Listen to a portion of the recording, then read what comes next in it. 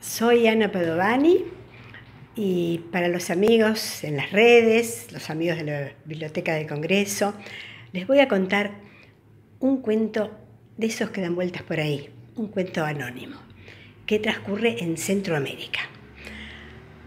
Se cuenta que una vez eh, dos negros que habían trabajado duramente durante toda la mañana, subiendo y bajando de los cocoteros y los bananos, muy cansados, se acostaron a dormir la siesta a la vera de un río.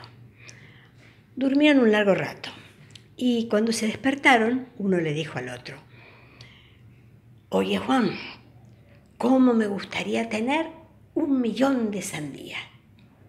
Y si tuvieras un millón de sandías, ¿me darías la mitad? No, no te lo daría. Pues me darías un cuarto del millón. No, no te lo daría. Pues me darías diez sandías ni de sandía. Pues me daría una sandía, ni una sandía.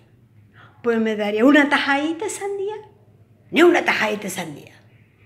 Pues ¿por qué, Manuel, a tu amigo, ni una tajadita de sandía? Pues porque eres demasiado perezoso para soñar por ti mismo.